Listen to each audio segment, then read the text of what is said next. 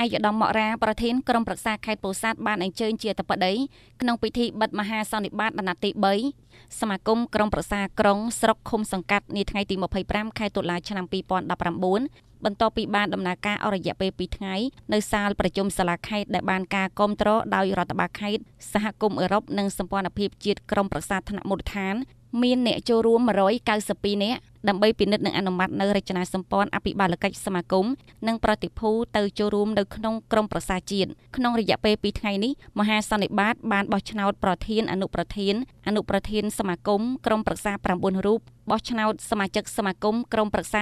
131រូបនិងបោះឆ្នោតសមាជិកគណៈកម្មាធិការប្រតិបត្តិនៃសមាគមក្រុមប្រឹក្សាក្រុងស្រុកឃុំសង្កាត់43រូបក្នុងនោះគណៈកម្មាធិការប្រតិបត្តិ3រូបគឺលោកសំរិទ្ធអេងលោកមកកោនិងលោកស្រីកងប៊ុនគាបានអនុម័តគាំទ្រសម្រាប់ចូលរួមមហាសន្និបាតថ្នាក់ជាតិ លោកសំរិទ្ធអេងប្រធានសមាគមក្រុមប្រឹក្សាថ្នាក់មូលដ្ឋានខេត្តពោធិ៍សាត់បានបដិញ្ញាលើកកម្ពស់ស្មារតីសាមគ្គីឯកភាពនិងសហការជាមួយនឹងក្រុមប្រឹក្សាក្រុងស្រុកឃុំសង្កាត់មន្ទីរអង្គភាពគោរពច្បាប់លិខិតបទដ្ឋានរក្សាអព្យាក្រឹតភាពបទបញ្ជាផ្ទៃក្នុងនិងធានាឲ្យបានខ្ជាប់ខ្ជួនដោយតម្កល់ផលប្រយោជន៍ជាតិមាតុភូមិនិងប្រជាពលរដ្ឋជាធំ។ ជាមួយគ្នានោះលោកទទួលយកនៅរាល់សំណុំពរគ្រប់ផ្នែកគ្រប់ថ្នាក់ពីមូលដ្ឋានទាំងអស់ដើម្បីដាក់ជូនថ្នាក់ដឹកនាំពិនិត្យនិងពិភាក្សាស្វែងរកការគ្រប់គ្រងនិងដោះស្រាយគ្រប់បញ្ហាពាក់ព័ន្ធប្រកបដោយប្រសិទ្ធភាពដំណាភាពនិងគណនេយ្យភាពអាយដាមមករាប្រធានក្រុមប្រឹក្សាខេត្តបានថ្លែងក្នុងពិធីបិទមហាសន្និបាតដោយបានវិតម្លៃខ្ពស់អំពីលទ្ធផលមហាសន្និបាតអាណត្តិទី3របស់សមាគមក្រុងប្រឹក្សាក្រុងស្រុកឃុំសង្កាត់នៅក្នុងខេត្តពោធិ៍សាត់ជាការឆ្លើយតបទៅនឹងតម្រូវការអភិវឌ្ឍនៅក្នុងមូលដ្ឋាន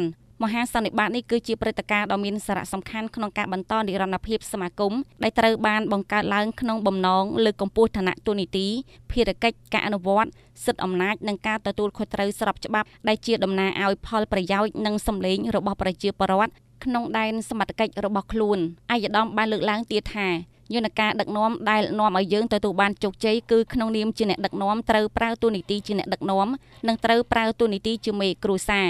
ក្រុមប្រឹក្សាចំនួនមុនក៏បីជួយចែករំលែកចំណេះដឹងបទពិសោធន៍ទៅឲ្យយុវជនចំនួនក្រោយនិងជួយបណ្ដុះឲ្យកើតឡើងនៅវប្បធម៌កតញ្ញូមេល្អត្រូវមានព្រំវិហារធម៌ទាំង4ត្រូវស្គាល់សុខទុក្ខដល់មន្ត្រីថ្នាក់ក្រោមនិងប្រជាពលរដ្ឋហើយត្រូវប្រើអំណាចជាទឹកដែលត្រជាក់មិនត្រូវប្រើអំណាចជាភ្លើងព្រោះភ្លើងគ្មានបានអ្វីក្រៅពីផេះនិងខ្យូងនោះទេ